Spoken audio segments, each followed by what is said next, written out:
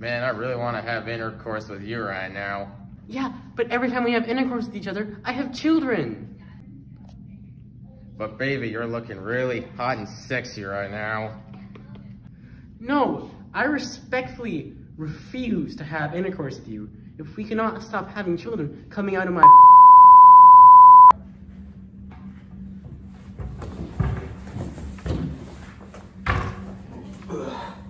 Fear not, for I have this very epic and awesome condom for you, your solutions. What is a condom? Well, I'm glad you asked, because a condom is something that you will wrap around your small erected willy. Make sure it's wrapped around like this. How will that help? Well, you see, when it's wrapped around him, his sperm can't, can't make it into your precious eggs, so you can't get impregnated. You'll be wearing that every time we have intercourse from now on. Okay, Well, here's, here's one for, for your adventures. thanks. Hey, it's too big. Well, you're just gonna have to make do, I guess. Is there anything bad about this amazing product?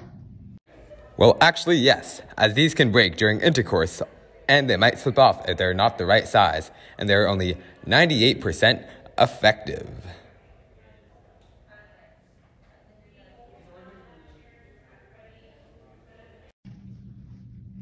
Thanks, this'll help a lot.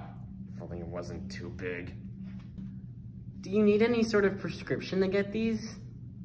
No, you do not need any sort of prescri- prescription to receive this product. Just go to your local pharmacy or maybe ask your school counselor for some condoms, and they'll gladly give you some condoms. Now, I want to know if this will protect me and my wife from any sexually transmitted diseases. Well, sadly, they cannot fully protect you from any of those, but I still suggest using them if you would like not to have a pregnancy. All right. right. Now come here, baby. Bend over. Go. Now, keep in mind, our company is not liable for any byproduct if the condom breaks, such as these.